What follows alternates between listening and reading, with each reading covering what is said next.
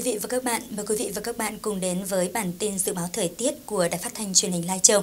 Trước khi đến với phần dự báo chi tiết các khu vực trong tỉnh, mời quý vị cùng đến với phần tin mưa lớn trên diện rộng trên phạm vi tỉnh Lai Châu. Ngày hôm nay mùng 1 tháng 11, do ảnh hưởng của hội tụ gió lên đến mực 3.000m nên tỉnh Lai Châu đã có mưa vừa, mưa to rải rác, cục bộ có nơi mưa rất to. Lượng mưa đo được từ sau 19 giờ ngày 31 tháng 10 đến 13 giờ ngày 1 tháng 11, phổ biến là từ 30 đến 96 mm. Một số điểm mưa rất to như Mường Mô 134 mm, Nậm Hàng 133 mm, Nậm Giàng là 110 mm, Nậm Ban là 103 mm. Dự báo đêm nay và ngày mai, tỉnh Lai Châu tiếp tục có mưa, mưa vừa, có nơi mưa to đến rất to và rông. Lượng mưa phổ biến từ 20 đến 50 mm trong 24 giờ, có nơi trên 80 mm trong 24 giờ. Mưa lớn tập trung chủ yếu tại các huyện Mường Tè, Nậm Nhùn, Sìn Hồ, Phong Thổ, Tam Đường và thành phố Lai Châu. Trong mưa rông, đề phòng xảy ra lốc, xét và gió giật mạnh đề phòng nguy cơ xảy ra lũ quét, sạt lở đất cục bộ. Cảnh báo đợt mưa này có khả năng kéo dài đến ngày 3 tháng 11. Cảnh báo cấp độ rủi ro thiên tai do mưa lớn, lốc, xét là cấp 1.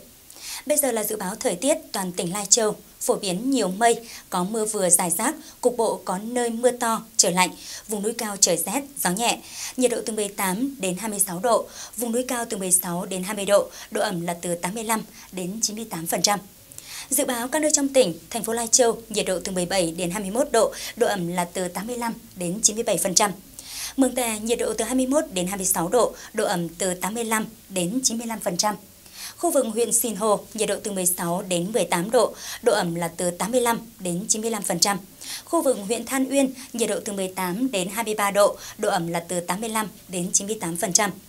Huyện Nậm Nhùn, nhiệt độ từ 21 đến 26 độ, độ ẩm là từ 85 đến 95%. Huyện Tam Đường, nhiệt độ từ 18 đến 23 độ, độ ẩm từ 85 đến 98%. Đối với khu vực huyện Tân Uyên, nhiệt độ từ 18 đến 23 độ, độ ẩm là từ 85 đến 98%. Khu vực huyện Phong Thổ, nhiệt độ từ 21 đến 26 độ, độ ẩm là từ 85 đến 95%. Trên đây là phần dự báo chi tiết các khu vực trong tỉnh Lai Châu. Cảm ơn quý vị đã quan tâm theo dõi. Xin kính chào và hẹn gặp lại.